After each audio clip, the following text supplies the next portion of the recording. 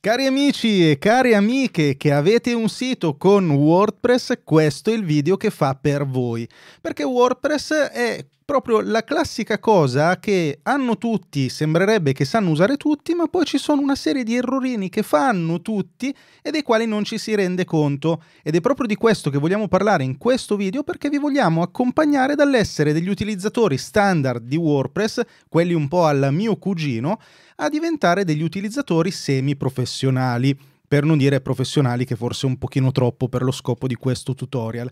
Ma non lo facciamo da soli perché io sì, di WordPress me ne intendo, ma ho deciso di portarvi il top, la creme della creme. Voglio farvi spiegare qualcosa da chi con WordPress ci lavora tutti i giorni, ormai da diversi anni. E allora siamo qui con Daniele Besana. Ciao caro Daniele. Ciao Andrea, un saluto a tutti. Daniele Besana, VPOK, che è un servizio proprio che lavora con WordPress ed è questo il motivo per cui chiediamo a te di farci questa presentazione, di raccontarci quali sono gli errori più comuni che tu trovi durante il tuo lavoro e che ormai conosci benissimo e che creano magari a chi ha dei siti, dei grattacapi abbastanza seri e che poi in qualche maniera a volte tu ti trovi anche a dover risolvere con il tuo lavoro di tutti i giorni. Prima di cominciare Guardiamo un po' le coordinate di questa guida completa. Che cosa imparerete? Imparerete a usare meglio WordPress, imparerete ad evitare i problemi più comuni che ci possono essere con WordPress, imparerete a migliorare le prestazioni del vostro sito web e passerete dagli, da essere degli utilizzatori dilettanti di WordPress ad essere degli utilizzatori professionisti. Se già siete degli utilizzatori professionisti di WordPress, beh, questo credo che sia un ottimo ripasso dovete già conoscere alcune cose, nel senso che parleremo di WordPress tralasciando, dando per scontato che almeno le basi minime le abbiate, che sappiate che cos'è WordPress, che lo abbiate già installato su un sito web, perché non vi spiegheremo come fare, per cui eh, rimanderemo questa, questa guida super, ba- super basica ad altri video, non lo faremo in questo. Mi raccomando, leggete la descrizione perché gli errori più comuni sono diversi e ve li linkeremo uno per uno con il timestamp, così potete cliccare direttamente sul minutaggio e se vi interessa qualche approfondimento specifico, perché poi andiamo in profondità, sapete come sono fatto, e allora potete andare a guardare direttamente quelli che vi incuriosiscono. Um, vi ricordo di venire sul canale Telegram Chiocciolina Ciraulo e su officine.me slash upgrade in entrambi i casi per avere contenuti extra, risorse riservate in un caso dedicate a tutte nell'altro caso dedicate ai finanziatori. Mentre vi dico anche che um, abbiamo il servizio di Daniele che vi voglio presentare perché è vero che adesso andiamo a imparare come gestire il sito web, ma è anche vero che tanti professionisti dicono no, vabbè, io non è che posso fare tutto, qualcosa la dovrò delegare agli altri perché io mi voglio concentrare sulla mia attività e non sulla risoluzione dei problemi. E allora in questo caso ci viene in aiuto VPOK che trovate all'indirizzo vp-ok.it che è un servizio proprio che si occupa di prendere in mano il vostro sito web e di togliervi i problemi. È un servizio togli problemi. Il, um, eh, l'abbonamento, quello di punta del servizio, eh, prevede richieste limitate, 89 euro al mese. Non è una pubblicità, ma è proprio, eh, ve lo presento perché ci tengo a, a, farvelo conoscere perché credo che vi sarà utile in diversi casi. E voi non dovete più pensare a niente perché ai problemi ci pensano loro. VP-OK. E allora, caro Daniele, direi che la presentazione è stata fatta e siamo pronti per cominciare. Tu sei pronto? Sono pronto, Andrea, non potevo sperare in una presentazione migliore. Grazie. Grandissimo. Grazie Grandissimo, allora andiamo un pochino a vedere che cos'hai per noi. Io vado a proiettare il tuo schermo. Ok. Quando vado? Vai quando vuoi. Ok, allora parto, hai già fatto un'ottima introduzione, voglio semplicemente raccontare... Specifica, specifica. raccontare un po' velo- velocemente chi sono e da dove arrivo. Io mi sono sempre occupato di informatica tecnica, in realtà in un settore completamente diverso, reti e sicurezza informatica, una carriera che ho iniziato eh, in, in, in, Brianza, in Italia, eh, dove ho iniziato a lavorare, e che poi ho continuato eh, qui in Olanda, dove vivo tuttora. Eh, mi piace dire che ho avuto la fortuna, un po' come Rotowash, di vedere dall'appartamento la grande industria, perché appunto ho avuto a che fare con realtà molto molto piccole e con realtà molto molto grosse e eh, questo mi ha permesso di vedere come situazioni diverse, con budget diverso, attività diverse, ri- ricevono un, che tipo di supporto ricevono. poi sono stato vittima del libro 4 ore alla settimana di, di Tim Ferris, eh, perché è un libro che mi ha messo in testa un po' il pallino di voler cambiare, cambiare vita, di voler eh, avere più, più, tempo da dedicare a me stesso, alle cose che mi piace fare e quindi un po' questo libro, un po' la crisi dei 30, ho deciso di lasciare il, il settore, la, la, l'attività, l'azienda che, dove lavoravo prima e di mettermi in proprio. La mia prima idea è stata comprare siti esistenti e quindi con già traffico e che già creavano dei, del, dei soldi e impegnarmi a aumentare, aumentare, il, la, aumentare il profitto. Questa è stata l'idea iniziale e facendo questa cosa sono entrato in contatto con tante persone che appunto avevano dei progetti web o lavoravano sul web e pur avendo molta più esperienza business di me, che avevo un, appunto un background tecnico, facevano molta fatica perché si schiantavano sulla parte tecnica e quindi mi sono reso conto che dopo praticamente 12 anni da quando ho iniziato a lavorare con piccole realtà, la, mi sono reso conto che la situazione del supporto tecnico non era in realtà cambiata. I piccoli i piccoli clienti, chi ha un, un piccolo progetto, eh, un professionista fa veramente tanta fatica a trovare un supporto all'altezza perché ci sono sempre delle, delle dinamiche dove o finisce in mano, come dicevi tu prima, a, a, un cugino che comunque ha dei limiti o a un freelancer magari bravissimo che però poi quando hai bisogno di supporto è impegnato magari creando il prossimo sito e con la prossima deadline oppure delle web agency che hanno delle dinamiche molto diverse, dei costi, eh, tipicamente dei costi elevati, con dei preventivi, dei tempi tecnici. E quindi da, da, da questa mia esperienza mi è venuto in mente di creare WPOK, che hai descritto brillantemente tu, eh, offriamo supporto WordPress illimitato, mi piace dire per chi fa sul serio, perché comunque eh, offriamo quello che è un, uh, un, abbonamento che dà accesso a un team di esperti WordPress che risponde nel giro di 24 ore e che si prende cura di tutta, tutti gli aspetti tecnici del sito, quindi tutta la parte di sicurezza, manutenzione. Adesso passo velocemente giusto far vedere um, un attimo, questo è il nostro sito. Eh, è proprio un, un, abbonamento che dà accesso a un gruppo di, di, di esperti che segue tutta la parte di sicurezza, manutenzione del sito e eventualmente anche richieste limitate per, per fix, quindi sistemare cose, eh, aggiungere funzionalità, creare nuove pagine, caricare contenuti, qualunque cosa eh, abbia a che fare con, eh, con la gestione di WordPress.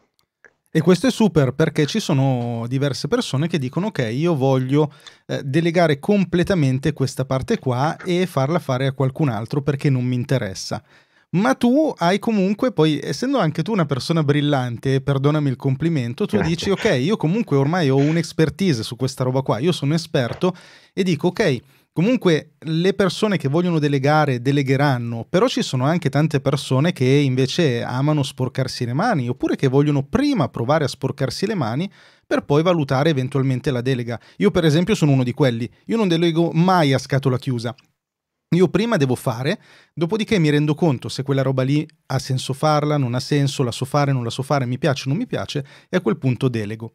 E allora, visto che tu hai questa esperienza, eh, raccontaci un pochino, eh, sì. se, hai fini- se hai terminato questa presentazione, raccontaci un pochino quali sono gli errori più o meno tipici di chi si gestisce un sito WordPress. Sì, Andrea, eh, allora, trattando supporto tecnico, c'è questa deformazione pro- professionale dove vedi sempre quando ci sono problemi, cioè intervieni sempre nella risoluzione dei problemi e quindi vedi problemi ovunque. e purtroppo nel corso degli anni abbiamo visto un sacco di problemi, eh, di, di problemi che tante volte sono sono, sono fa- facilmente evitabili. Per questo voglio fare questa, ci tengo a fare questa, eh, questa, presentazione, a parlare dei problemi più comuni, perché veramente ho, ho visto tanta gente che eh, ci ha messo l'anima per costruire il proprio sito, per eh, creare i contenuti, per promuovere un, attivi- un, un, nuovo progetto e poi, porca miseria, si trova, mh, mm, si trova a terra perché per una mancanza tecnica. Per una sciocchezza, realtà, letteralmente sì, per una sciocchezza. Era una sciocchezza. Quindi passo, ok, andiamo nel, nel cuore di questi sette errori da evitare e partiamo da il, il primo che è il discorso del backup. Oh, ora, e questo dovrebbe essere una regola di vita, proprio una religione. Ora, Bisognerebbe entrare nella chiesa del Andrea, backup. Cioè, mi sembra quasi assurdo nel 2019, quasi 2020, stare a, a, a raccontare, a parlare di backup, però eh, ci sono ancora tanti problemi legati a questa, questa, tematica. Innanzitutto, cos'è il backup? Il backup è una copia del tuo sito. Siamo tutti abbastanza oramai consci del fatto che anche col cellulare mh, mm, hai, delle, hai, delle, foto, hai, delle, mh, mm, eh, hai le foto sul tuo computer, è importante avere una copia delle foto perché se ti si spacca il telefono, se ti si rompe il, il computer, tu hai comunque una, una copia per non perdere tutto. È lo stesso identico concetto quando si parla di un sito web. Quindi tu hai il tuo bel sito online, devi avere una copia perché se qualcosa va storto puoi andare a prendere quella copia. Però in realtà è un po' più complicato di così. E ti, ti riporto i 5 errori più comuni che abbiamo visto fare. Il primo è fidarsi dell'hosting, perché oramai tanti, tanti servizi di hosting includono dei backup sulle loro pagine, dicono ah backup incluso è. Però abbiamo visto diverse volte che in realtà eh, ci sono que- questi abbiamo visto diverse situazioni dove l'hosting magari faceva il backup dei file e non del database faceva il backup dei file però non, non completo, eh, oppure faceva il backup una volta al mese, quindi quando è un problema se devi tornare indietro di, di un mese. Eh, servizi che ancora al giorno d'oggi devi pagare extra per avere il backup, eh, insomma diverse situazioni, quindi noi crediamo che meglio non fidarsi dell'hosting, se l'hosting fa un backup meglio così, sempre averne uno ne abbiamo più. uno in più, chiaro. però Anche devi perché... avere Sai che ti confesso, Daniele, che io sono uno di quelli che si fida del backup dell'hosting, quindi sto facendo un errore, è già la prima cosa che scopro. Nel senso che tu dici, è vero, però poi il problema dei backup, e qui sto già sbirciando al tuo punto numero 5, il problema del backup... Okay e, e, anche che eh, magari ti rendi conto che quel backup non andava bene nel momento in cui ti serve. cioè, quindi oggi mi fido sì. del backup dell'hosting, il momento in cui il mio sito crolla e mi serve il backup mi renderò conto che magari quel backup è aggiornato a due mesi fa, oppure è carente di alcune parti, oppure manca qualcosa, magari addirittura non è stato fatto perché mi sono dimenticato di rinnovare il tale abbonamento. Ecco, esatto, questo è un altro esempio. Ci è capitata una volta un cliente non aveva rinnovato l'hosting l'hosting era scaduto, se ne è accorto dopo un mese, vabbè, era, situa- cioè era, già una situazione dove era un sito che comunque non era molto controllato, diciamo. Eh, però dopo, un, mh, mm, dopo un, eh, più di un mese dalla scadenza, eh, l'hosting aveva già cancellato i backup. Dice, ok, il tuo, il tuo, abbonamento con noi era scaduto, dopo un mese abbiamo cancellato i backup, quindi si è ritrovato ad, ad, senza, senza avere più niente in mano. Molto chiaro.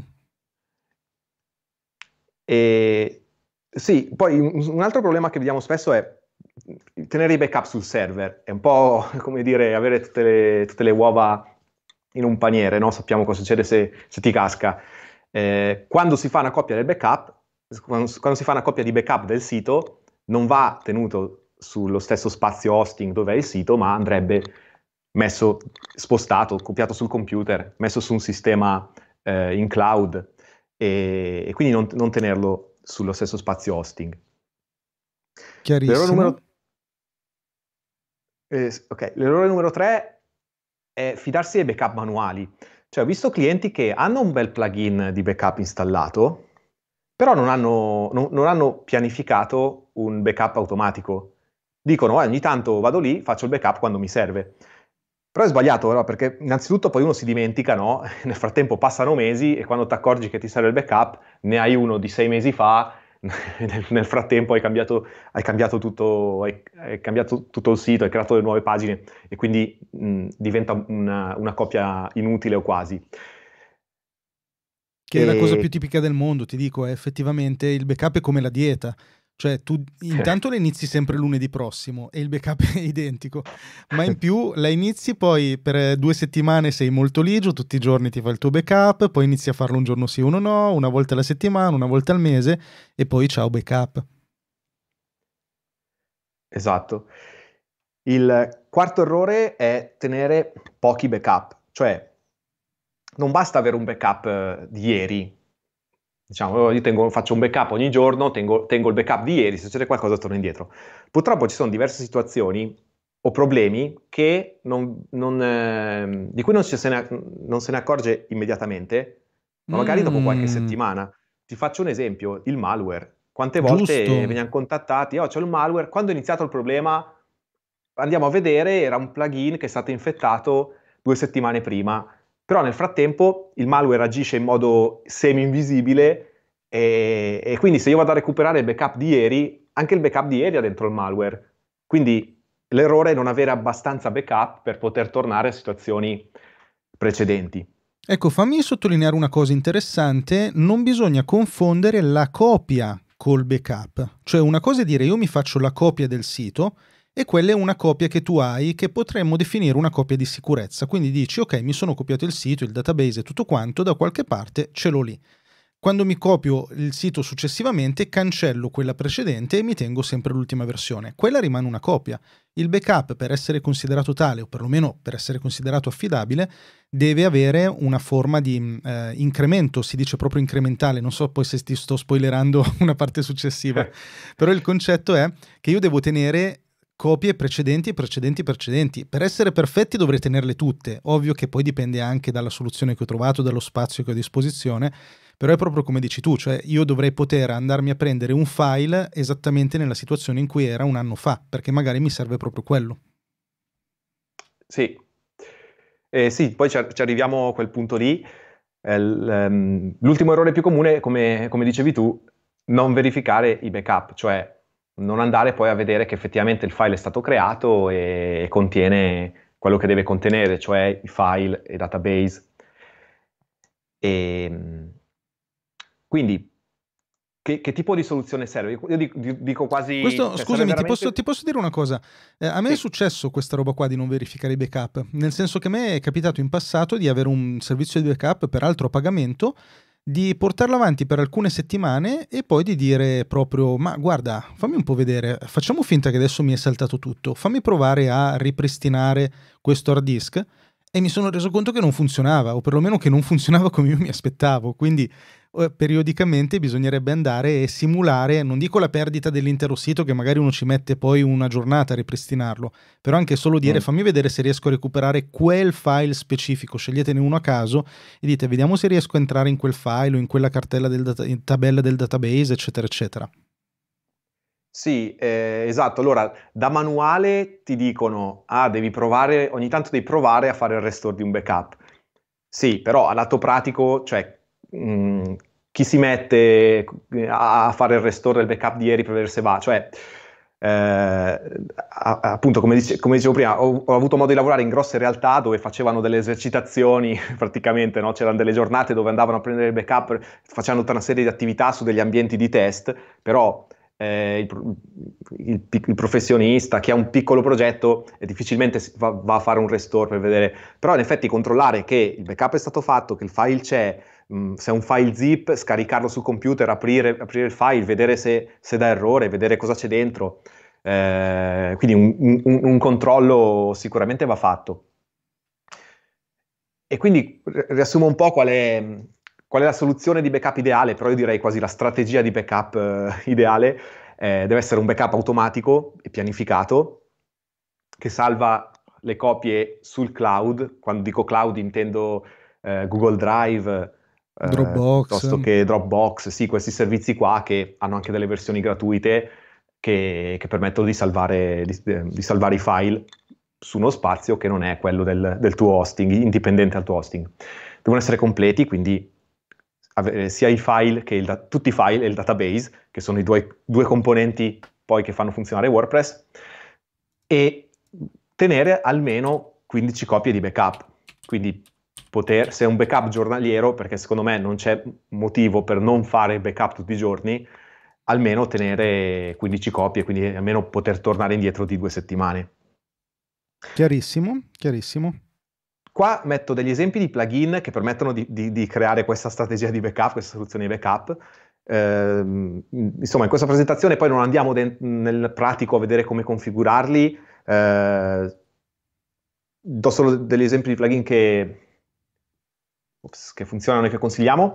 Updraft Plus, Backup Buddy e l'ultimo è VP Time Capsule, che è il nostro preferito, è quello che utilizziamo su tutti i siti dei clienti perché fa quello che hai accennato tu prima, il discorso del backup incrementale, cioè invece di copiare, di creare una copia di tutto il sito ogni giorno, va a vedere che cosa è cambiato dal giorno prima a oggi. Per esempio, Molto da ieri buono. a- abbiamo eh, aggiornato un plugin, ok, allora faccio il backup solo del plugin. E questo permette di avere dei, dei backup molto più snelli anche in termini di, di risorse, di quanto caricano il server e mm, abbiamo trovato anche più, aff- più affidabili, quindi questo E ha un prezzo questo, adesso sto guardando il sito web, lo sto anche mostrando Sì, e allora, vedo che costa per un sito, anzi per due siti, 49 dollari all'anno. esatto, purtroppo avevano una versione gratuita, l'hanno tolta un po' di tempo fa, eh, mentre Updraft Plus e Backup Buddy hanno anche versioni gratuite che già ti permettono di fare tutta una, s- già ti permettono di fare quello che quel tipo di configurazione che abbiamo parlato finora. Ok, Updraft Plus mi sembra che sia un po' il più famoso, almeno quello che mi capita di incontrare spesso nei vari elenchi Sì, di plugin per i backup, eccetera, eccetera, quasi sempre considerato e nominato per primo. sì, sì, sì, Perfetto. è qualche milione di installazioni in giro per, per il web. Direi che possiamo passare al Ok. secondo errore da evitare, quindi il primo, fare sempre il backup del proprio sito web, ma io aggiungo fare sempre il backup di qualsiasi cosa che abbiamo di tecnologico, le foto della prima comunione, i file di lavoro, eh, Word, Excel, qualsiasi cosa facciamo su un computer, su un telefono anche, sempre avere una copia di backup, perlomeno se quei dati sono un minimo importanti per noi. Ok. Prossimo problema da frattempo, evitare? Prossimo errore? Vedo che tu hai una sono, presentazione super gigante, tutta mescolata, bellissima. Mi sono incasinato con la presentazione, però è il, il tema del, del controllo. Cioè, cosa intendo col controllo? Immagina che... Cioè, immagina di costruire una- una- una- la tua villa, la tua casa, Sì? e un giorno vai in comune perché ti serve qualche cosa e ti dicono: Ah, guarda che il terreno su cui tu hai costruito la tua villa non è tuo, è di proprietà del muratore che ti ha costruito la casa o dell'architetto. Ecco, questa cosa che sembra, sembra assurda nel mondo, nel mondo reale, nel mondo degli, immo- degli immo- degli immobili, eh, la, la vedo capitare molto spesso quando si parla di siti web. Mhm. Cioè, gli errori comuni che vedo sono i domini registrati dall'amico, dal eh, web- webmaster precedente, dall'agenzia, oppure hosting gestiti appunto da, queste, da altre persone eh, di cui il cliente non ha, non ha neppure accesso. Guarda, Oppure questo account. qua permettimi di, di fare, di sottolineare una roba. Mhm. perché come tu sai io mi occupo tra le altre cose anche proprio di gestione, di realizzazione di siti web. E una cosa tipicissima, tipicissima è che qualcuno si rivolga a me passando magari da un altro freelance verso il mio servizio e non, non so, magari sono sbagliato io, eh, adesso non è che voglio dire questa è una regola di vita, però ogni volta fanno una fatica bestiale a ottenere il possesso del loro sito, del loro stesso sito, cioè ma è loro. Ma io dico, Sì. cacchio, se questa roba qua è tua, io, io freelance, come posso appropriarmi? È vero che è più comodo per il freelance, è vero che è molto più comodo avere tutto Mm. sullo stesso ehm, account, ci metti un attimo, una sola password, gestisci tutto, per carità anche quel po' di furbizia di dire ok, cerco di non rendere troppo autonomo il cliente perché poi così almeno viene da me, però cacchio, cioè eh, non è corretto. Io per esempio ogni volta che faccio un sito, massima autonomia al cliente, cioè il mio cliente deve potere in qualsiasi singolo istante potermi mandare a quel paese e non aver bisogno di niente. Cioè il mio cliente deve avere il diritto di dire io quello là non lo voglio più sentire da questo preciso momento e non ho più bisogno di lui perché voglio fare da solo, perché voglio fare un altro. Detto questo, scusami lo, lo sfogo. eh, secondo me è corretto, No. cioè stia- state attenti che le vostre cose siano vostre, che non, non- non siano di qualcun altro. Eh, sì, Andrea, capisco lo sfogo. Infatti, guarda, ho messo anche l'immagine io con le mani nei capelli, perché quando succede sta cosa mi fa veramente in- incazzare. Scusa se lo, se- se- se- lo dico. E fai bene. Perché, perché comunque, appunto, sono persone che hanno pagato un sito eh, e poi si ritrovano senza, senza avere in mano quello che, quello che è loro. E devo dire, a volte capisco che, come dicevi tu, è più facile magari per, per mh, avere tutto il, il, il controllo di tutto ed è anche più cioè a volte spiegare al cliente come registrare un dominio o come attivare l'hosting è più complicato, cioè si fa quasi Vero. un servizio al cliente dicendo guarda lo faccio io, così tu non ti devi preoccupare di niente. Però poi appunto c'è il discorso della, del, del, de, della proprietà e della proprietà di quelli che io chiamo gli asset, cioè gli asset di un sito web sono comunque il dominio sicuramente, eh, l'account dell'hosting, gli account di social media, Google Analytics, Search Console e altri servizi, non so se si utilizza tipo MailChimp o se ci sono dei plugin, anche dei plugin premium. Quindi ecco, eh, chi, chi, ascolta invito a fermarsi un attimo e dire ok, chi ha il controllo di queste cose? Io ho il controllo di, di, di questi elementi qua o sono in mano a qualcun altro? Perché poi finché si va d'amore d'accordo le cose, le cose vanno bene. Però quando c'è un problema, eh, quando la, la, una persona diventa raggiungibile per un motivo o per l'altro, poi diventano, diventano, diventa importante appunto avere il controllo. E Quindi, tu puoi testimoniare che queste robe accadono più spesso del previsto, perché uno dice un po' come, un po' come i matrimoni, uno mm. dice ok non ci lasceremo mai, che è vero, Intanto non è una certezza che si può avere, ma è una, una cosa, è diciamo una, una, supposizione, a maggior ragione più che il matrimonio nel caso di, di, servizio di un freelance. Ma poi il punto non è soltanto, ah, quello lì non è più bravo, adesso è bravo, non sarà più bravo, ma possono succedere un milione di cose, gli può venire un coccolone, può eh, andare a vivere all'estero, può cambiare lavoro. Sì. Cioè sono tante le cose che possono accadere in quel caso. Io ti dico, siamo proprio in questo momento con una persona da quasi un mese che non riusciamo ad mm. avere le password per gestire il suo sito web. È quasi un mese che diciamo, cavoli, mandaci queste password, fai il passaggio su Aruba dal mio account al tuo. E niente, è un mese che latita e non ci riusciamo in nessun modo. Sì, no, ti confermo che è quello che vediamo anche noi eh, capitare, capitare, spesso. E sì, ed è una cosa che fa, fa riflettere. Quindi per evitare di finire in quella situazione lì, controllate che tutti questi asset devono essere registrati eh, a tuo nome o a nome del, della tua azienda essere, e dobbiamo averne pieno controllo, ecco. Poi Evitare piuttosto... gli intermediari. Esatto, piuttosto questo sì che credo che sarai d'accordo anche tu e penso che sia anche il modo in cui lavorate voi di VPOK, date le password, le date in modo sicuro, usate una chat sicura su Telegram, sì. fate in modo che non siano salvate su qualche mail che rimane poi su Gmail Insomma, trovate il modo di farlo bene, però è ovvio che poi serve alla persona che vi gestisce eventualmente il sito di poterci entrare, ma lo fa con i vostri account. Nel momento in cui voi cambiate la password, tutti quelli che non siete voi sono chiusi fuori. Sì, sì, decisamente. Passiamo al... Errore terzo. numero 3? Ok, qua è il discorso dell'hosting. Eh, abbiamo visto situazioni in cui i clienti utilizzavano degli hosting caserecci, insomma un po' la situazione che appunto qualcuno ti rivende un servizio di hosting gestito da lui. Eh, abbiamo visto hosting che hanno support, un supporto limitato, cioè ancora oggi ci sono degli hosting che fanno supporto solo via telefono dalle 9 alle 5. E mm-hmm.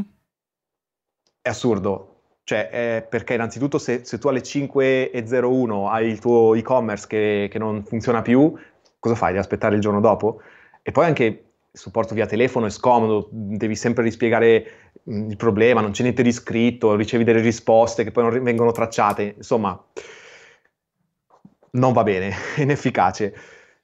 E, oppure hosting che hanno server vecchi e mm, lenti, insomma delle macchine che beh, poi per il cliente è abbastanza difficile valutare, però eh, è, un, è un problema che, che quando facciamo un'analisi tecnica compare spesso. Poi c'è questa... Capita ancora secondo te? Um, prima di passare a quella domanda che, mi, che, è super interessante, qual è l'hosting migliore per WordPress e chissà in quanti se lo stanno chiedendo adesso, eh, capita ancora che ci siano dei professionisti che propongono, eh, e non so se è quello che intendi con hosting caserecci, che dicono guarda ho io il server in ufficio, mettiamo il sito sul mio serverino, non ti preoccupare che, che te lo gestisco tutto io, è quello che intendi? Sì, sì, questa è una cosa che sì, è, è un esempio, quindi server gestiti in casa che mh, mm, veramente per... Eh, al giorno d'oggi lo trovo una cosa veramente anacronistica, cioè l'hosting è diventato molto industriale come servizio, cioè quasi una commodity. E ha dei costi no? comunque molto ragionevoli. Sì, hanno costi ragionevoli, chi, chi, chi, vende hosting ha macchine, data center, cose, è organizzato per farlo, cioè mettersi un, un, un serverino in casa eh, per, per, fare un servizio di questo tipo è veramente ha poco senso, con tutti i problemi del, della gestione, eccetera, cioè sono servizi molto poco affidabili fatti in questo modo. Ecco, specifichiamo eh, una cosa, ovviamente noi stiamo parlando a persone che utilizzano il sito man- o che vogliono utilizzarlo in maniera diciamo professionale, cioè per dire se siete uno studente di informatica e volete farvi il vostro server anche per imparare a fare il server, quella è una manna dal cielo, cioè fatelo tutta la vita perché è super utile. È chiaro che noi ci stiamo rivolgendo a persone che utilizzano il sito web eh, o che vogliono utilizzarlo non fine a se stesso, cioè non per imparare a gestire il sito web, ma perché vogliono ottenere degli altri risultati, siano essi vendere qualcosa, offrire un servizio, far vedere delle foto o scrivere delle poesie. L'altra domanda che ti voglio fare, Daniele, prima di vedere qual è l'hosting migliore, però è, mm, è un, un dubbio che ho spesso anche io. Quanto è grave, secondo te, fare un passaggio di hosting nel momento in cui ti serve quello migliore. Perché intanto correggimi se sbaglio, finché hai il tuo sito vetrina della pizzeria, nel quale ci vanno sì e no 10 persone al giorno, se ti va bene, quindi nei giorni affollati, eh, questo discorso secondo te ha comunque senso anche se ci vanno 10 persone al giorno o in quel caso mi posso permettere di risparmiare? E se tu dici ok posso risparmiare qualcosina in quel caso, quanto poi è complicato nel momento in cui la mia pizzeria fa il botto, diventa la più famosa della Lombardia o di mm. qualsiasi altra regione, quanto è complicato passare invece a un hosting più professionale? Allora, la prima parte della tua domanda ti dico, le situazioni in cui c'era l'hosting peggiore che ho visto erano quelle dove il cliente pagava di più, per assurdo. Perché wow. era comunque in mano, sì, perché era in mano comunque magari a un'agenzia o chi gli aveva fatto il sito che gli vendeva un servizio scar- di, di, scarsa qualità ad un prezzo più alto perché comunque c'era tutta una serie di ricarichi, di logiche, di, quindi le situazioni, mi ricordo un cliente qui, una, una palestra qui di Amsterdam, che aveva un sito, uno spazio web con 500 mega, limitato wow. a 500 mega, e, e, e, pagava un, un, un, fotio di soldi all'anno, cioè centinaia Ma di euro all'anno per avere. Non sapevo che esistessero mega. I, i, mega. usavano i floppy per, per tenerli, questi mega? Sì, ma ti parlo di, di, di un anno fa, eh, non, di, non, di, dieci anni fa. Cioè, è una okay. cosa che mi ha lasciato. Però sì, eh, tante volte passare a un servizio di qualità ti fa anche risparmiare soldi. Quindi ecco, non è, diciamo, il, il costo non è l'unico, l'unico metro. E Molto chiaro. Per la seconda parte della domanda, allora, si può cambiare hosting in qualunque momento. Serve avere, appunto, si torna al discorso del controllo, quindi bisogna avere accesso all'hosting, accesso al proprio dominio per poter fare un trasferimento. Oramai tanti servizi di hosting, quando attivi il, il pacchetto, ti offrono gratuitamente il trasferimento del sito. E quindi, ecco, la, la, la, barriera per trasferire un sito, un sito, web da un hosting all'altro è, è, è molto bassa. Quindi volendo io potrei anche pensare di dire ok, io adesso devo creare il mio sito, non ho tempo perché voglio crearlo subito perché poi apro la pizzeria domenica prossima, mi serve in fretta, mi prendo un hosting che leggo due recensioni, mi sembra che vada bene, lo piglio, intanto ce l'ho e magari fra mm. sei mesi, quando invece la, la, l'attività è più avviata e io ho più tempo, posso ragionare sull'hosting migliore per l'appunto e prendermi quello mettendo in conto sicuramente un po' di sbatti se sono totalmente a zero magari la richiesta a un professionista che potrebbe farlo a un prezzo non esorbitante, però bene o male si può fare. Sì, sì, sì. Una roba del genere. Sì, sì, si, si, si, può fare, è un'attività che si fa senza mettere offline il sito, cioè alcuni clienti dicono oh, ma per, se cambiamo hosting quanti giorni il mio sito starà, no non sarà, se è fatto bene il trasferimento sempre, il sito rimane sempre disponibile. Perfetto, Quindi molto è chiaro. un'attività abbastanza tranquilla. Ma se vogliamo già partire dal migliore, come lo troviamo? ok, esatto, sì, quindi la domanda più frequente è qual è l'hosting migliore per WordPress? Se apri i gruppi Facebook che parlano di WordPress, eh, c'è 10 volte al giorno qualcuno vi chiede qual è l'hosting migliore. E ovviamente, vabbè, dipende da, ovviamente da tanti parametri, però io voglio dare una serie di criteri di valutazione perché in realtà, a meno se tu non insisti troppo, io vorrei evitare di fare nomi, però okay. vorrei piuttosto dare dei te parametri. Te l'avrei proprio chiesto, ti avrei detto, beh, però fammi qualche nome, ok, accetto la tua proposta. E guarda, ti dico anche perché, preferisco dare i parametri di valutazione, perché nel mondo degli hosting ho visto le cose cambiare, cambiare abbastanza rapidamente. Qualche anno fa io raccomandavo a tutti Site 5, non so se te, te lo ricordi. A proposito di non fare nomi. fantastico, non fare nomi, eh, servizio fantastico, entravo in chat, c'erano oramai quei due o tre tecnici che seguivano la fascia, euro- lavoravano in orario europeo, quindi li conoscevo anche, fantastico. Un giorno è stato acquisito da una società più grossa, è diventato l'inferno, non rispondeva più nessuno, risposte, il servizio è peggiorato. E io l'avevo raccomandato a tante persone, ci ho fatto pure la figura, a un certo punto eh, rischia anche di farci brutta figura. Quindi ecco, eh, è un mondo molto dinamico quello degli hosting. Poi se, se, un, se, un, servizio funziona bene, viene consigliato, arrivano tantissime persone, tipicamente il servizio peggiora perché fanno eh, appunto divent- diventare una società più grossa dove si fa più fatica.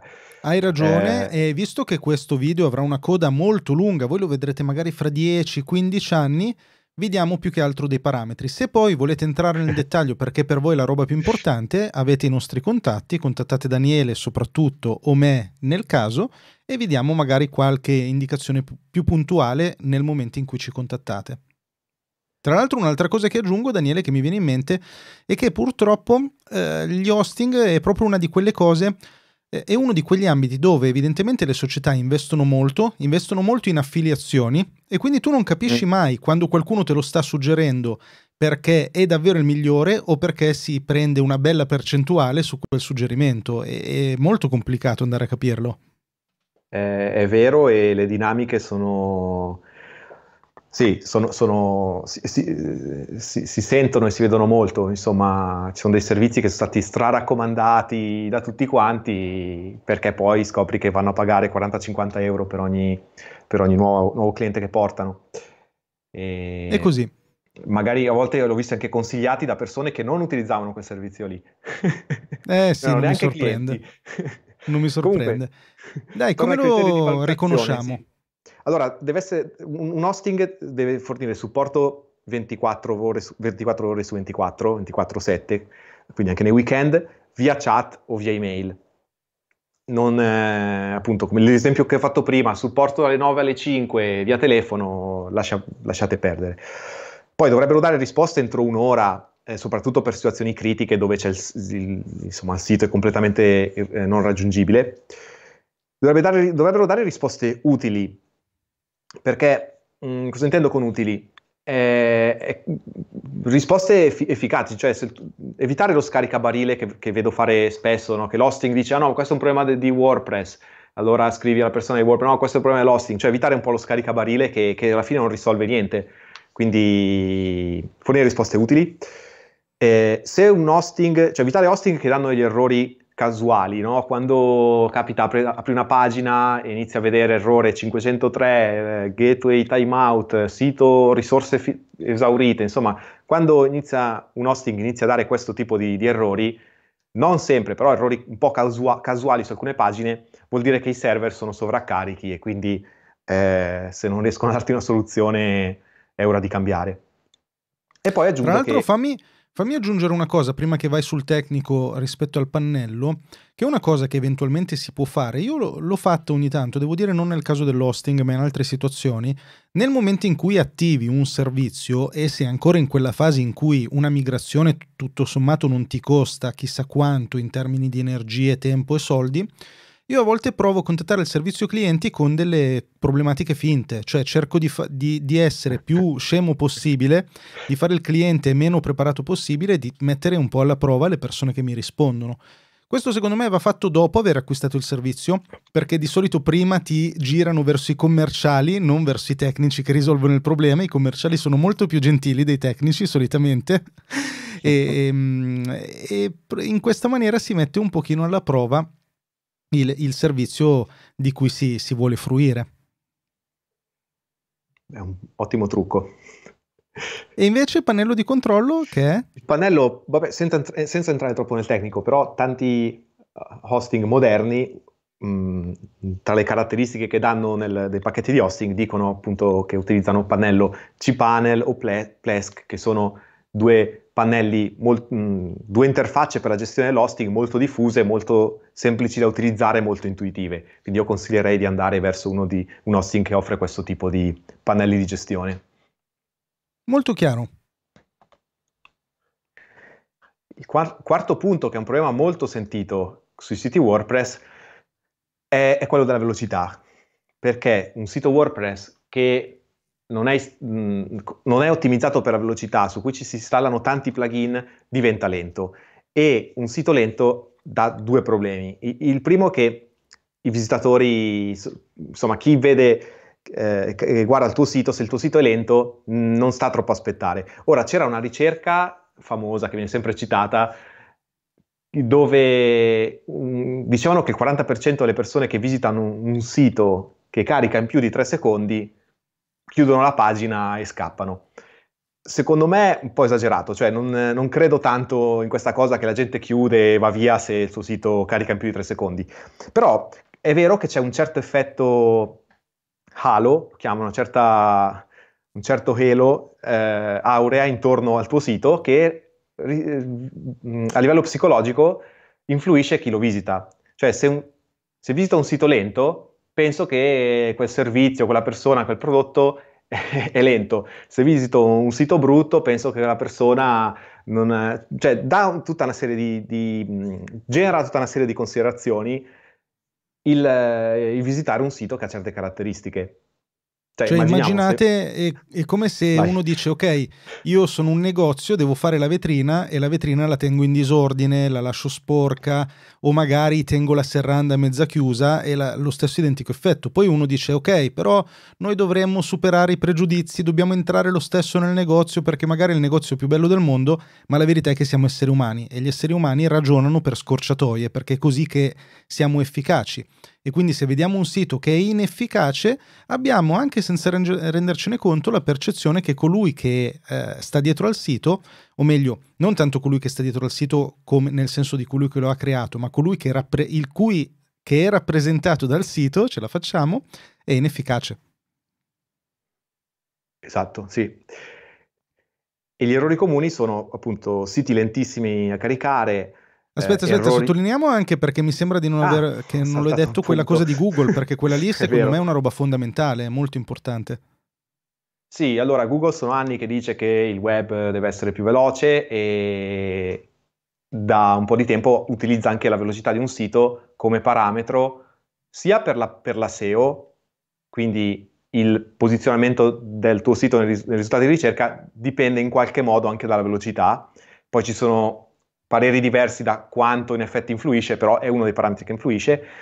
E poi ultimamente anche per chi fa mh, pubblicità, cioè chi utilizza Facebook Ads oppure eh, Google Ads, quindi per chi paga la pubblicità, la velocità della pagina dove poi mandi il traffico influenza quanto tu paghi i click. E, e quindi diventa un parametro anche eh, importante per la SEO e per, eh, e per chi fa pubblicità. Quindi in generale Google adora i siti veloci, questa è una roba che hanno ripetuto e che adesso l'hanno anche messa in pratica. Evidente. Quindi, beh, gli errori comuni appunto siti molto lenti, errori sporadici sulle pagine, mm, come dicevo prima, errori 500, 503, gateway timeout, insomma errori legati al, alle risorse e troppi plugin attivi. Ci capita, guardi un sito, ci sono 60 plugin attivi, spesso non neanche, neanche utilizzati. Immaginate allora, qui... i plugin per voi che magari non siete esperti di WordPress, un po' come se fossero dei tubi all'interno dei quali passa l'acqua. Voi potreste avere un secchio e prendere l'acqua direttamente dal secchio e quello è un sito senza plugin. Oppure potreste attaccare tanti piccoli tubettini che man mano vanno ad allungare la distanza fra voi e l'acqua. E quelli sono tutti plugin perché ogni volta che si carica un sito web viene caricato ogni singolo plugin prima di farvi vedere quel sito web. Ovvio che stiamo parlando di centesimi, a volte millesimi di secondo, per cui un plugin, due plugin, 10 plugin, 15 plugin se sono impostati nella maniera corretta, non vi vanno a stravolgere l'utilizzo poi del sito finale, ma già 60 plugin, come diceva Daniele, certo che vanno poi a cambiare l'utilizzo del, del sito web perché effettivamente lo rallentano. Prendete 10 centesimi di secondo per 60 e siamo già arrivati a 6 secondi, per cui insomma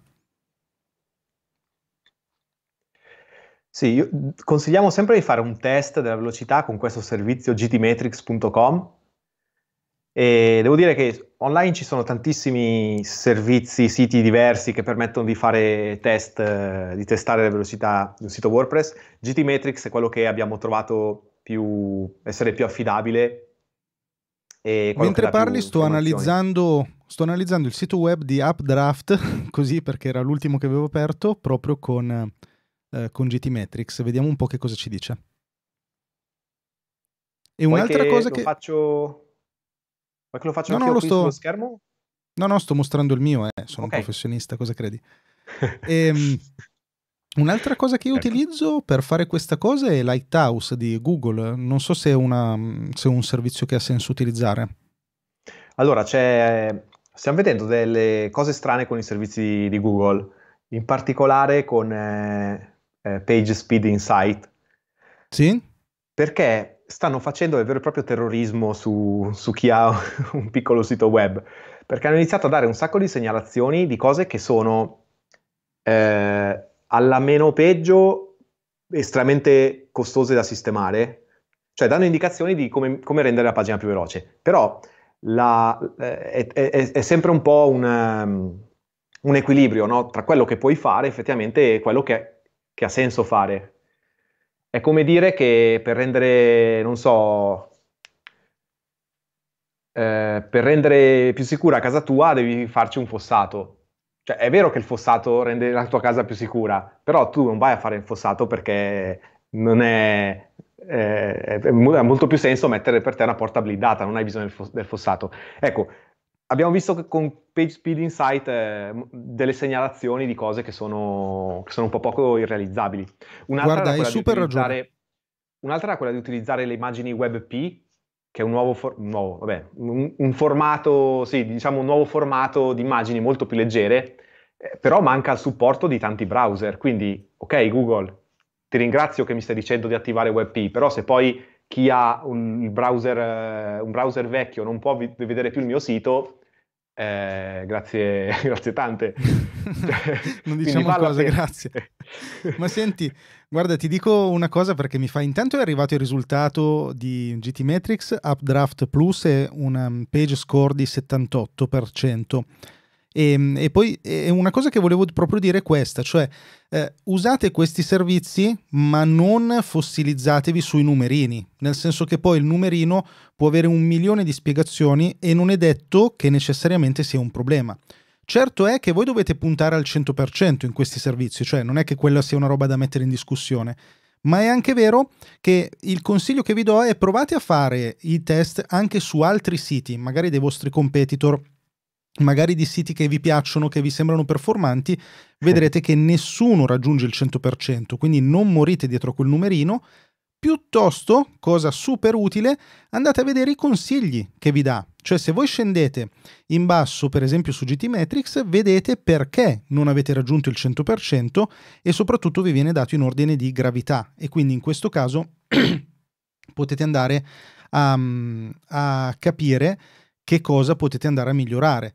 Ti dico, per, ehm, così come racconto, che io sul mio sito web, quando l'ho realizzato, mi sono detto io voglio prendere proprio il servizio di Google e voglio raggiungere il 100%. Uh. Ti dico che non ci sono riuscito, ti dico che sono arrivato tipo a 97%, una roba del genere, ci ho messo un paio di giorni solo per sistemare quella roba lì, quindi immaginatelo nel mio caso in termini di tempo speso, in altri casi magari in termini di costi. Super soddisfazione, peccato che c'è un problema, cioè ogni volta che vado a fare una microscopica modifica del sito, quel valore crolla perché era tutto tenuto in piedi da dei mm, microscopici aggiustamenti, metti le immagini WebP, però quando il browser non è compatibile allora fai vedere l'altra immagine, però poi utilizza JavaScript, ma quando non, non caricarlo, caricalo... Insomma, ci siamo capiti. E quindi morirci dietro no tenerli presente sì, utilissimi, no, senza morirci dietro perché sennò rischiate davvero di entrare in un vortice come è successo al sottoscritto in cui mm. se non avete il 100% non siete contenti e non ne uscite più. Sì, e facendo dei test su siti che anche famosi, per esempio ho visto il risultato del test di Aranzulla l'altro giorno, del sito di Aranzulla, un sito che conoscono tutti, sempre nelle prime posizioni di Google, ha dei risultati tremendi in, in termini di percentuali proprio perché non è quello il focus. Eh, il, il, il, focus vero, secondo me, è il, il, tempo di caricamento, cioè un sito deve caricarsi eh, idealmente sotto i 3 secondi, sotto i 5 secondi va bene, e questo con, una, con un lavoro di ottimizzazione si può, si, si, si, può ottenere. Ed è qui che entrano in gioco i consigli che vi dà GT Metrics, perché poi voi vi sì. rendete conto okay, di quali sono le cose più importanti che vi mancano. E diciamo un piccolo trucchetto, Daniele, ma questo qua è un trucchetto un po' pro, per cui magari esula dalla chiacchierata che stiamo facendo.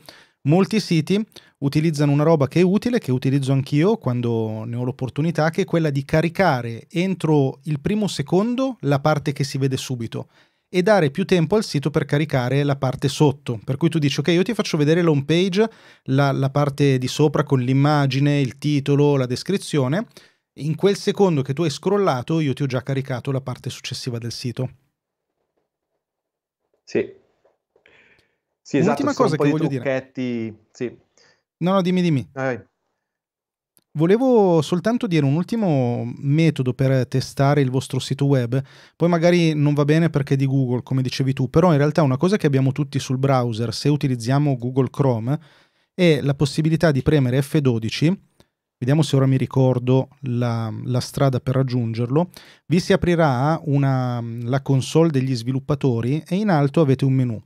Se voi andate a cliccare per ampliare quel menu, a un certo punto trovate Audits e quell'Audits vi va a fare proprio una, una sorta di GT Metrics, cioè vi va a misurare alcune variabili, performance, web app, best practice, accessibilità, SEO, eh, dal punto di vista di Google. Come dicevamo prima in maniera assolutamente corretta, sono valori da prendere con le pinze e se non siete addetti ai lavori chiedete a qualche addetto ai lavori se ha senso poi spendere tempo e denaro su quel singolo valore. Adesso sto facendo sempre la prova con Updraft Plus. È una cosa che voi utilizzate ogni tanto, questa qua delle, degli audits di Chrome? Sì, ogni tanto perché poi hanno anche il, waterfall che puoi vedere ogni richiesta singola quanto, quanto tempo richiede. Perfetto. Nel frattempo lo sta facendo, tu avevi altro da dire su, questa, su questo errore? Eh, sì, beh, tre semplici passi per velocizzare un sito, cioè se avete un sito WordPress su cui non avete mai fatto nessun lavoro di ottimizzazione, per renderlo, per velocizzarlo velocemente, i tre passi sono installare un plugin di caching, e qui ce ne sono diversi. Noi utilizziamo WP Rocket perché è molto efficace e anche molto semplice nella configurazione. È un plugin premium comunque che costa 39 dollari, secondo me ben spesi perché appunto con, con pochi click eh, già si, si eh, ottimizza, si prende cura di un sacco di aspetti tecnici dell'ottimizzazione. Poi ottimizzare le immagini, eh, qui c'è un plugin www Image Optimizer, è uno dei tanti anche qui che ottimizzano le immagini. Cosa vuol dire ottimizzare le immagini? Spesso si caricano sui, dei, sui siti pa- eh, delle immagini che non sono ottimizzate per il web e non parlo solo di, eh, cioè non parlo della risoluzione dell'immagine eh, in termini di dimensioni, ma parlo proprio di come è compressa l'immagine, come eh, viene visualizzata.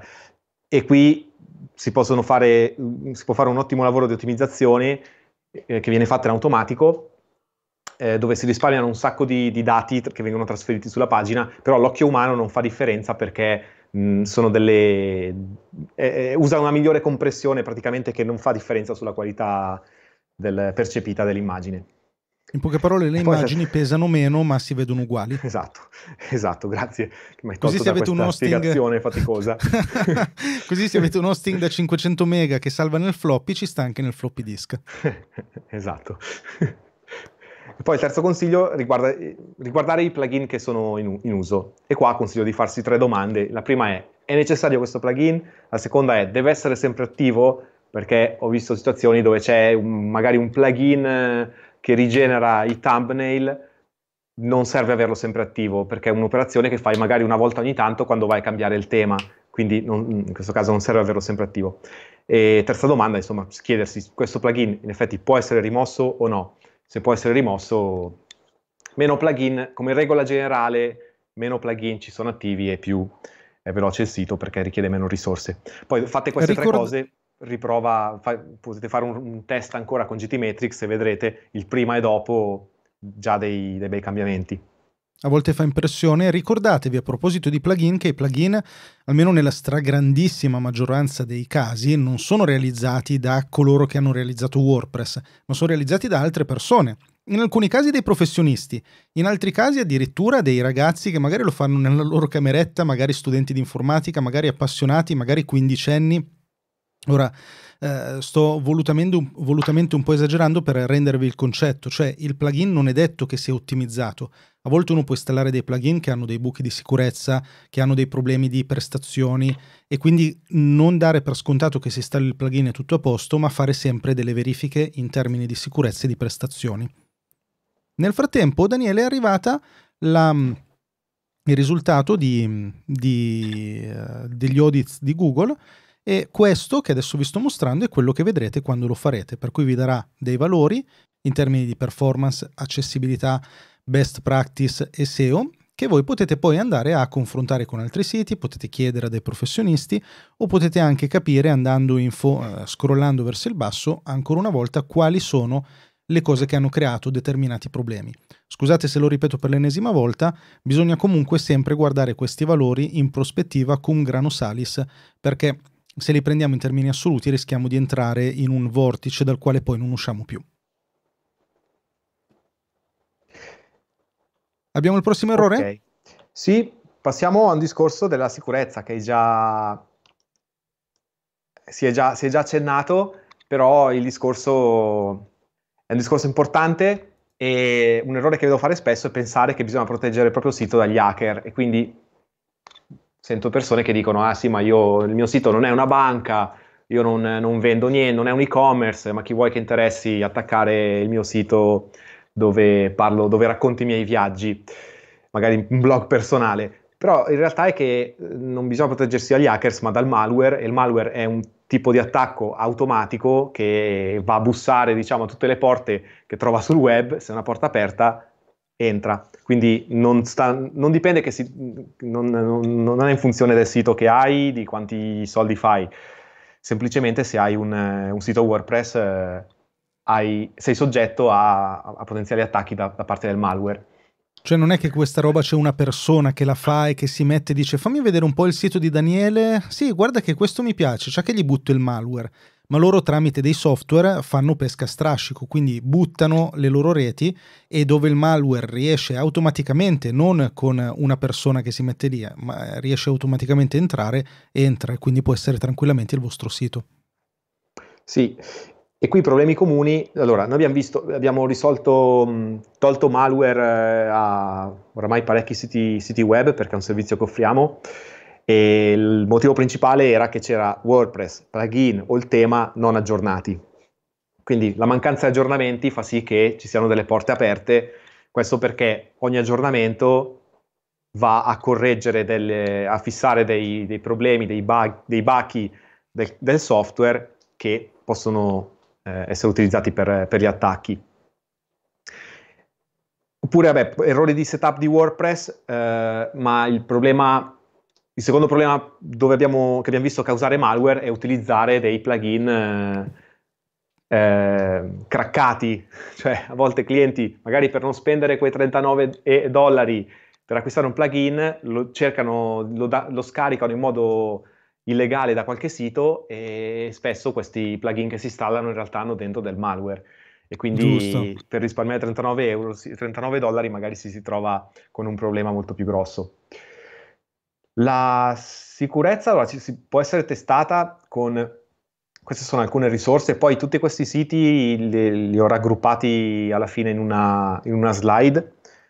Eh, questi sono comunque dei servizi gratuiti che permettono di fare un check e testare la, lo stato di salute di un, eh, sito, un sito WordPress. Interessante.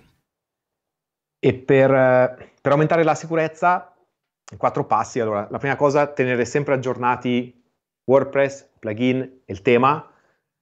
Eh, questo per tenere il sito appunto sicuro e anche per tenere il sito funzionante, perché poi questi aggiornamenti vanno a... Ehm, faccio un esempio, se domani Facebook cambia qualcosa nel modo in cui puoi condividere un articolo, se tu aggiorni il tuo, il tuo tema, i tuoi plugin, allora il tuo sito continuerà a funzionare, altrimenti non, eh, questa funzione non, smetterà di, di, di, di, funzionare. Quindi è importante, il discorso degli aggiornamenti è molto molto importante. Poi il secondo passo è installare un plugin di sicurezza. Noi utilizziamo Word Defense su tutti i siti dei nostri clienti, eh, è un plugin che trovo molto completo e ti raccomando impostare la, l'email a cui mandare gli alert perché poi WordFence, quando c'è qualcosa di strano sul sito, invia una notifica via email ed è molto importante andare a guardare queste email che cosa contengono. Perché se no è come mettere la... Errore, la, errore la, più comune è fare tipo info chiocciola qualcosa e poi uno si va a guardare solo quella di Gmail e info chiocciola qualcosa non la guarda mai. Esatto, sì. Oppure addirittura eh, in, ehm, in, alcune società c'è, c'è, l'abitudine di creare mail a profusione. Ti, ti, serve quella singola cosa specifica e fai la mail tipo wordfans chiocciola società tal dei tali e poi quella mail viene guardata per la prima settimana mm. e poi eh, se la dimenticano tutti all'interno della società non esiste più. Sì, è come mettere le videocamere di sorveglianza per non avere nessuno che, che, che controlla. Quindi WordFence fa già tanto di suo per evitare problemi, però se c'è qualcosa che va storto, notifica via, via email e quindi qualcuno deve prendersi la briga di andare a controllare questa cosa, cosa dice. Senti, WordFence ha una, ha una anche versione gratuita o c'è solo a pagamento? Sì, ha una versione gratuita che, che poi è quella che utilizziamo, che usiamo noi. La versione a pagamento aggiunge Mm, poco in realtà, personalmente non ho mai trovato un motivo valido per cui... Per passare. Per investire e poi anche dei prezzi che ho trovato abbastanza alti per quello che fa, quindi state Perfetto. tranquilli con la versione free. Poi terza cosa, aggiungere il sito a Search Console. Search Console è un servizio di Google, si aggiunge, puoi aggiungere il tuo sito gratuitamente, c'è una semplice procedura di verifica per poter aggiungere. Questo è uno strumento super utile perché dà un sacco di informazioni sul tuo sito ed è soprattutto quello che dico è il canale di comunicazione tra Google e te che hai un sito. Cioè Google se trova un problema su, che ha a che fare con l'indicizzazione o un problema legato alla sicurezza, non ti telefona, eh, quello che fa è ti manda una notifica su Search Console, quindi fai in modo di avere il tuo sito collegato a Search Console per avere queste, queste informazioni. Molto interessante perché io lo consideravo Search Console solo per la parte, diciamo, di motore di ricerca e invece effettivamente hai ragione perché lui ti dice anche se ci sono degli errori e cose simili. Sì, sì, è diventato sempre di più è il punto di contatto fra Google e chi ha un sito, quindi lo, lo, lo raccomando lo raccomando È molto facile iscrivervi, vi, vi basta un account Google, search.google.com e lì lo trovate, quello che vi sto facendo vedere proprio adesso. Altro Poi, punto successivo. Sì, l'altro consiglio è non utilizzare plugin craccati o nulled, che nulled Cosa è un termine dire? che viene utilizzato Nulled vuol dire che è stato annullato il controllo, perché se è un plugin che ha una licenza per, per poter funzionare, per esempio, la versione nulled è quella dove viene annullata la, il controllo della licenza. E in realtà questi plugin sono, come dicevo prima, più volte sì che no, sono, contengono del malware, sono un veicolo che viene utilizzato per diffondere dei virus e malware, quindi statene lontano. E l'ultimo punto è utilizzare HTTPS. Ora, HTTPS è il protocollo di comunicazione sicura.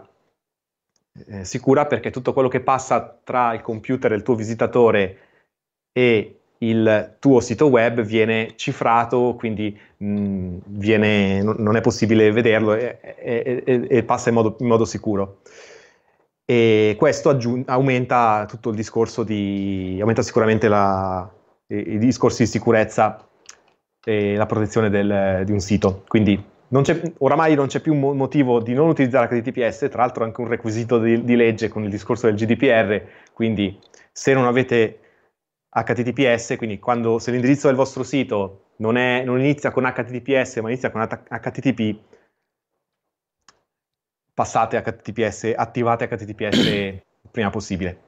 Ed è relativamente facile farlo, lo fate tramite l'hosting, no? nel pan- proprio nel pannello di controllo dell'hosting eh, dovete fare qualche click nel, nella maggior parte dei casi, tipo trovate certificato SSL, robe del genere, e in mhm. quella uh-huh. zona lì vi andate ad impostare l'HTTPS.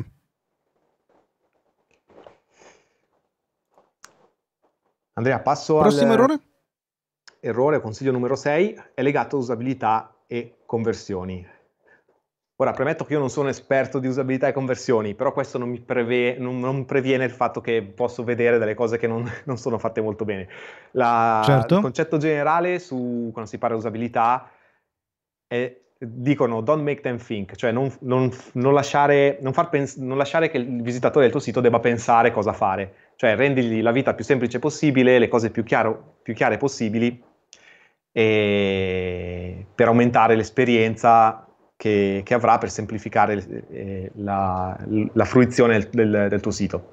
E come errori frequenti eh, vedo innanzitutto utilizzare troppe CTA o troppe distra- distrazioni. CTA sono le call to action, cioè quando tu in una pagina vuoi che il visitatore voglia fare qualche cosa, per esempio vuoi che si registri la tua newsletter, ecco, evi- quello che vedo è che a volte si mettono, si, si, si, ripete la stessa CTA troppe volte o si mettono CTA diverse. Quindi come call to action, eh, registrati la newsletter, eh, scarica Seguimi questo, su Facebook, eh, scarica il PDF. Esatto, cioè sì? per ogni pagina decidi una cosa, un'azione che, che, è importante per te, per la tua attività, decidi un'azione e spingi o suggerisci quell'azione. Sì. Poi ho un, ho un, esempio dopo che raccoglie tutti. Comunque, eh, non vedo eh... l'ora, guarda che mi sta incuriosendo quel perdonami Simone, non vedo l'ora di che tu lo clicchi. Simone, sì, poverino. Eh, secondo errore frequente utilizzare immagini stock quando non si dovrebbe. Cioè, immagini stock sono le tipiche immagini che scarichi molto belle, immagini professionali che però non, trasmet- non trasmettono niente.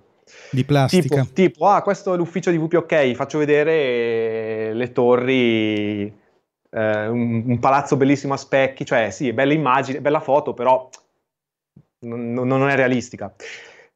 Terzo errore frequente è utilizzare dei testi molto lunghi, noiosi o inutili che parlano solo di quanto siamo belli, quanto siamo bravi, senza andare a trasmettere eh, qual quali sono i vantaggi per, chi, per, chi, visita il sito. Considerate che chi visita una pagina web in automatico, sempre a livello psicologico, si chiede che cosa c'è qui per me, quindi e quella è la domanda che non si fa, no, non, non si chiede questi sono bravi o no, si chiede cosa c'è qui per me, quindi prima rispondiamo a questa domanda e meglio è. Passo Molto interessante, a... posso, aggiungere, posso aggiungere, due sì. errori che mi vengono in mente mentre, mentre tu parli? Vai. Il primo è creare delle pagine quando non servono. Mi spiego. Alcune volte noi magari facciamo il sito vetrina in cui vogliamo parlare di noi come professionista. Io sono un avvocato e voglio parlarti della mia attività d'avvocato. E allora creo la home page e poi faccio la pagina chi sono, poi faccio la pagina cosa faccio, poi faccio la pagina contatti. E in ognuna di quelle pagine metto magari tre righe di, mh, tre righe di testo. In realtà molto più efficace in alcuni casi mettere tutto nella stessa pagina, nell'home page, la gente deve solo, scro- deve solo scrollare verso il basso e eh, hai tutto in, in, un unico punto, non, non tutti si mettono a guardare sempre le sottopagine. Quindi in alcuni casi molto efficace la monopagina piuttosto che andare nelle sottopagine. Ovvio che va sempre valutato caso per caso. La seconda cosa, che non so se è una cosa che magari avresti detto dopo, è non guardare il sito web da mobile. Cioè, tante volte, visto che noi il sito lo facciamo con il computer, perché è sul computer che ci mettiamo a lavorare, non guardiamo poi come risulta da telefono. Peccato che oggi la maggior parte delle persone il nostro sito lo usano da telefono e quindi in realtà tu sicuramente Daniele sai il, il modo di dire mobile first. Cosa vuol dire nello sviluppo di siti web mobile first? Vuol dire che tu oggi il sito web lo devi sviluppare per il telefono e poi lo devi adattare al computer e non più viceversa come si faceva una volta. Quindi nel momento in cui realizzate il vostro sito abbiate sempre la visualizzazione da telefono. Tra l'altro, eh, così ve lo dico al volo, se voi andate sempre sugli strumenti di, di, Google Chrome, ma questo è valido anche per Firefox e per la maggior parte dei, dei browser, eh, avete la possibilità, premendo il tasto F12 vi ricordo, avete la possibilità di attivare la visualizzazione da smartphone. Quindi voi cliccate sull'iconcina con lo smartphone e potete guardare il, il, vostro sito web come lo vedreste da computer, ma anche come lo vedreste da smartphone, addirittura andando a scegliere lo smartphone da cui lo volete guardare. Potete scegliere un iPhone, un Pixel o qualsiasi altra cosa che poi voi vi potete impostare per conto vostro. Non ti ho fatto uno spoiler, vero Daniele? No, anzi ti ringrazio perché gli aggiungerò questi due punti. Grande. Adesso passo al tanto atteso esempio del perdonami Simone, no, il motivo è perché eh, conosco Simone, però nel frattempo il sito è, adesso è offline, quindi non, eh, non penso di, fare, di fargli un torto. Ecco, okay. questa è una pagina, è la pagina del chi siamo e vedo un paio di, vedo un po' di problemi che avevo detto prima. Cioè, questa bella immagine qui di tre persone un po' sfocate che parlano, cioè, non mi trasmette niente. Preferirei una foto di loro eh, che, tras- che, è molto più umana, cioè mi fa vedere veramente ci- quali sono le persone dietro a questa attività. Poi il testo mh, è molto improntato sul eh, siamo bravi, siamo fighi. E poi il discorso di call to action, eh, qui compila il modulo per ricevere proposte, qui sotto compila il modulo per l'ebook, qua sotto contatti i numeri di telefono. E poi qui non si vede, però c'era anche un bel pop-up che saltava fuori e diceva lascia la tua email eh, per essere ricontattato. Cioè, tante azioni diverse che alla fine io come utente dico ok, che cosa devo fare? Boh, vado via. Sarebbe molto più efficace mettere solo un'azione, se vuoi che scarico l'ebook metti solo quello, se vuoi che ti telefono metti solo il numero di telefono, quello che dicevo prima. Molto interessante, quindi grazie Simone per averci dato questo bell'esempio. grazie Simone. E quindi, quindi, che cosa fare? Mm, beh, ogni pagina deve avere una, una, call to action, evitare distrazioni. Ecco, so, soprattutto nelle pagine critiche, è capitato diverse volte di vedere degli e-commerce dove tu metti il prodotto nel carrello, vai sulla pagina di checkout, sei lì che stai tirando fuori la tua carta di credito per pagare e sulla pagina di checkout salta fuori, ah guarda il nostro nuovo prodotto, ah hai visto il nuovo articolo, eh, sconti, cose che in realtà mi stanno distraendo dal completare l'azione. Quindi soprattutto le, soprattutto le pagine critiche dove vuoi che la, il visitatore faccia una cosa, magari importante come, come, come pagare, non distrarlo con altre, con altre, con altre cose. Ed è utile qui... in questo caso anche avere voi le idee chiare su cosa volete dal, dalla vita, mi verrebbe da dire, e dal vostro sito web. Cioè perché avete fatto un sito? Perché volete vendere dei prodotti? Perché volete che le persone vengano nel vostro ristorante? Perché volete che vi chiamino al telefono? Perché volete che vi lasciano la mail? Insomma, ogni sito web ha uno o più scopi che devono esservi chiari nel momento in cui lo realizzate.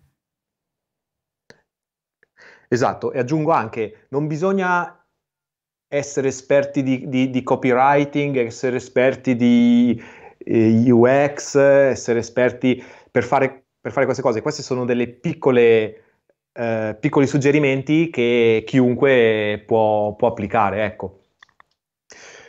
E terzo consiglio, io consiglio questo strumento, si chiama hotjar.com, immagino tu Andrea lo, lo, lo, conosca, comunque è potentissimo. Lo conosco, perché... non l'ho mai usato però, devo dirti.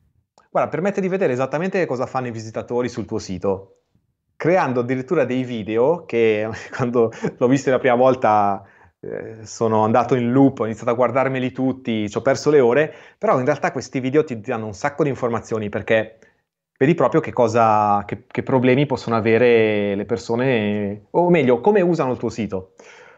Ora qui ho messo un esempio che se riesco a copy link, ok, uh, vediamo. Secondo te strumenti come Hotjar ha senso usarli da subito o devo avere un minimo di massa di, di, visitatori perché poi abbiano un senso e mi diano dei dati utili? Guarda, visto che fa una cosa così dettagliata come crearti un video per ogni visita, si, possono utilizzare, si può utilizzare anche quando hai, eh, anche se hai poco... Pochi visitatori? Anche se pochi visitatori. Eh, anzi, cioè se ne avessi tanti visitatori sarebbe veramente un problema richiederebbe molto tempo. Uh, aspetta, sto cercando di... Ce la faccio? Qual è il link? Il link è questo qua.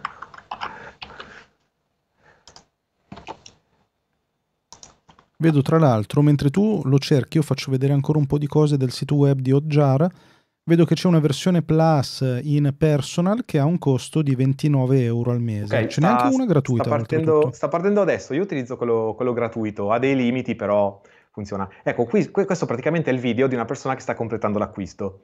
È alla cassa e ovviamente non si vedono i dati che inserisce nel modulo, però si vede come mm-hmm. utilizza il modulo. E qui se vedi, ok, va sotto, inserisce il numero di carta, boh, qua molti movimenti del mouse, clicca per effettuare l'ordine, ah, però non ha, non ha accettato i termini e condizioni. E quindi questo mi fa pensare, ok, forse i termini e condizioni non sono abbastanza messi in evidenza. Eh, e qui ancora sta, dopo completato l'ordine, sta inserendo i dati per, ehm, per, per, per attivare il servizio e ecco, vedere come, vedi, va sul, sul, punto di domanda per capire cosa deve fare, si, si sposta molto con il mouse, è un po' un'indicazione che sta cercando dove andare.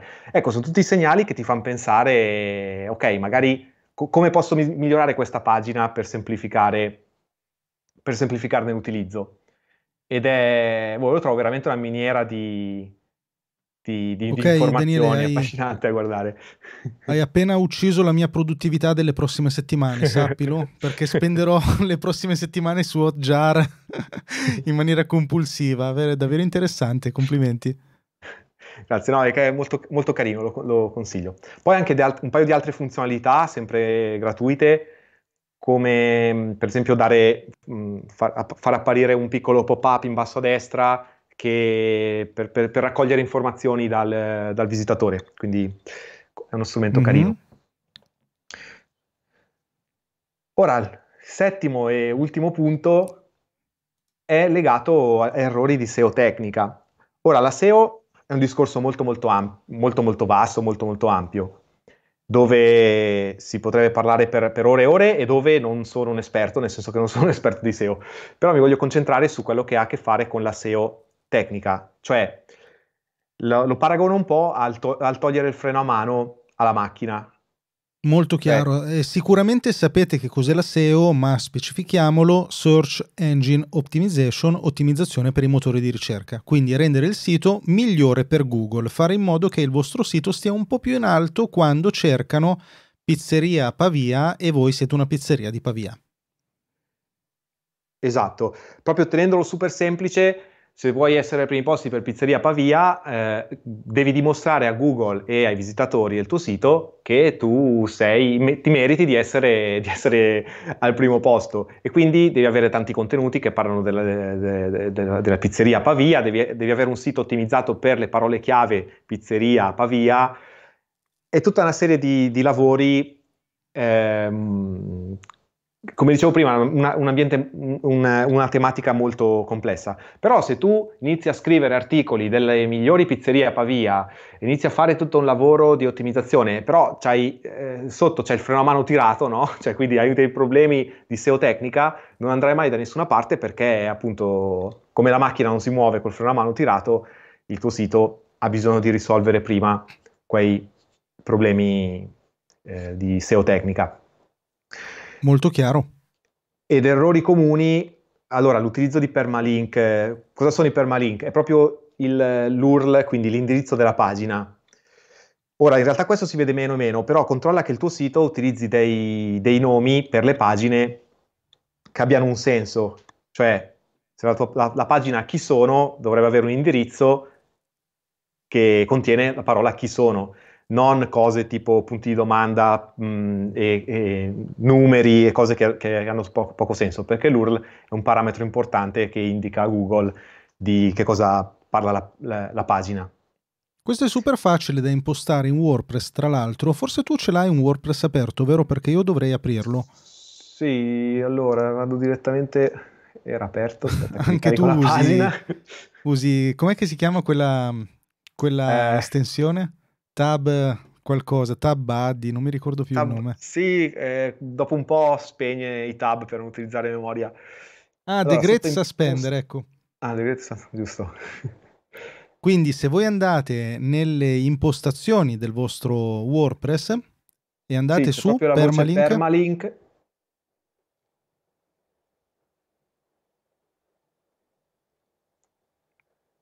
e aspettate che il vostro sito carichi. Appunto, dopo tutto il discorso di velocità, eccetera. Beh, qui siamo nel dietro le quinte. Ecco quello che voi dovete andare a impostare. Diciamo, oh. non succede più spesso, però ecco, se avete se la, l'impostazione semplice è quella che mette dei numeri strani, che sono poi il numero identificativo della pagina. Se si mette una, eh, come quella preferita sarebbe nome articolo, dove appunto eh, utilizza il titolo dell'articolo per creare, per creare, la URL. Quindi se non sapete dove mettere le mani, cliccate su nome articolo. Nome eh, articolo e poi sì. salvate, ovviamente. Eh, giusto super... Anche... Vai, vai, vai. Ma sconsiglio anche di utilizzare data, data e nome perché la data poi diventa una cosa che potrebbe, eh, potrebbe essere un segnale negativo. Cioè se, se arrivo su un sito per leggere un articolo e trovo che la data è di tre anni fa, in automatico ho un po' l'impressione che quell'articolo è vecchio, anche se magari esatto. poi nel esatto. frattempo è stato aggiornato. Quindi sconsiglio, eh, cioè il nome articolo è anche il modo più facile da memorizzare, da, da, ricordare. Ci sono diverse pagine del sito di VPOK che ti posso dire l'indirizzo perché me lo ricordo a mente perché abbiamo dato dei nomi facili da ricordare molto chiaro. E se puoi andare velocementissimamente sul singolo articolo, volevo far vedere anche dove trovano il, l'URL dell'articolo proprio, una volta che lo hanno scritto. Ok. Giusto per fare servizio completo, sai che a me piace dare proprio tutte le informazioni possibili, aprine uno qualsiasi. Ok, sì, questo qui è un articolo, tra l'altro su comprare e vendere siti è anche quello interessante, un mondo super interessante. Tu hai fatto tanti contenuti, quindi invito tutti ad andare a guardarli. Tu sei nella nuova interfaccia di WordPress. Ehm, sì, questo qui è il famoso Gutenberg. Come si chiama? Non mi ricordo. Eh, Gutenberg, ecco, non mi veniva il nome. E dove vai a vedere il permalink, l'URL? Clicchi in alto a destra sui pallini. Uh, aspetta che devo prima togliere la, la visualizzazione eh, ok, su documento. Permalink. E qui c'è Eccolo lì. Permalink, che adesso è impostato su comprare siti giusto perché volevo un, qualcosa di facile da ricordare che se devo scriverlo è, è facile da ricordare però è anche indicativo di, dell'argomento di cui parla l'articolo Molto chiaro. Quindi rotellina delle impostazioni dell'articolo e andate lì su permalink. Se avete ancora la vecchia versione di WordPress invece lo trovate direttamente sotto al titolo, trovate già il permalink, per cui non è difficile da andare ad individuare. Ok, possiamo procedere? Ok, poi um, un'altra, un altro errore comune è il discorso delle, delle, la SEO delle immagini, cioè anche le immagini danno indicazioni a Google di quello di cui parla la, l'articolo e la pagina. Un errore comune, vedo persone che scaricano mh, i file delle immagini dalla, magari dalla macchina fotografica e hanno dei nomi criptici, quindi è molto meglio rinominare la, il, l'immagine in qualcosa che abbia un senso per quell'articolo lì. Quindi se faccio un articolo che parla di supporto WordPress, caricherò un'immagine che si chiama supporto WordPress, ecco, un, qualcosa di significativo. Molto chiaro. E la terzo errore è utilizzare troppe categorie e tag. C'è un utilizzo dei tag che è come Instagram o Twitter. Cioè, più hashtag metto e meglio è perché lo vedono più persone. In realtà con WordPress assolutamente non è così, perché più categorie creiamo e più tag creiamo e più, immag- e più eh, pagine di archivio per queste categorie e tag vengono create. Quindi se tu... Eh, cioè è molto meglio avere pochi tag e poche categorie però con tanta sostanza, con tanti articoli su quegli argomenti lì, rispetto ad avere tanti tag che hanno un solo articolo. E questa è una cosa, sì, evitate di utilizzarne, di utilizzarne troppe. Non dà nessun, nessun, vantaggio, anzi porta svantaggi perché aumenta il numero delle pagine, però sono pagine molto meno mh, potenti, molto, con, con molto meno contenuto. Chiarissimo. Poi l'ultimo, eh, immagini in evidenza per, eh, per i social. Eh, cosa intendo? Intendo che su ogni articolo in WordPress è possibile indicare, mettere qui un'immagine in evidenza. Questa immagine viene utilizzata sia all'interno del blog che poi quando si va a condividere la pagina all'interno dei social. E se non impostiamo un'immagine, i, i social come Facebook prenderanno la prima, la prima immagine che trovano all'interno della pagina, che potrebbe, o spesso non è quella che vorremmo mostrare noi. A volte è solo Quindi, tipo l'icona di un social network, cose assolutamente che non c'entrano nulla. Sì, quindi su tutte le pagine consiglio di creare, tra l'altro utilizzando Canva, dove tu hai appena fatto un, un, un tutorial molto, molto dettagliato, diventa veramente veloce creare un, un, un'immagine carina da associare al, a ogni articolo e pagina. Vero, vero. Canva.com è il servizio, se volete andare ad esplorarlo, poi vi linkiamo anche il tutorial che ho realizzato. Quindi cosa fare per iniziare un po' con la SEO tecnica a partire col piede giusto?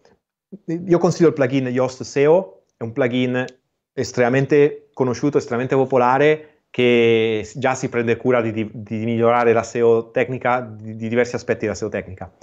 Poi il discorso dei permalink che abbiamo visto, il discorso delle immagini, quindi scegli un nome descrittivo, utilizza quello che viene chiamato testo alternativo e qua posso far vedere, uh, oh, ci sarà un'immagine qui, ah, c'è un video, però se clicco qui Mm, oh, sì, c'è questo testo alternativo, per ogni immagine va specificato a mano un testo alternativo che mm, spieghi, comunque sia relativo a quello che, di cui parla l'immagine. Molto chiaro. Poi collegarsi a Search Console di cui abbiamo parlato prima, anche questo è importante perché se c'è un problema di indicizzazione, di errori sul sito, di pagine che hanno dei problemi, in, mm, Google ti notifica su Search Console. Limitare appunto tag e categorie, la regola è pochi ma buoni e tenere un occhio su HTTPS e velocità perché sono dei parametri, del, delle cose che comunque influiscono la SEO tecnica. Molto molto chiaro. E questo, Daniele, mi sa che era l'ultimo errore da evitare.